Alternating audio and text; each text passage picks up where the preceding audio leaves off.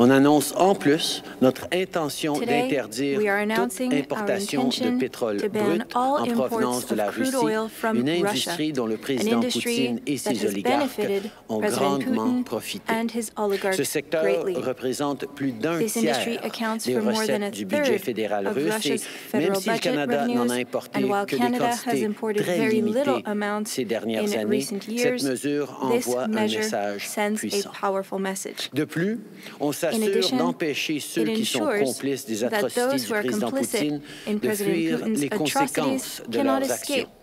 C'est pourquoi on a annoncé qu'on va empêcher les oligarques russes de se servir de leur richesse pour s'acheter une citoyenneté à l'étranger et éviter les répercussions des sanctions.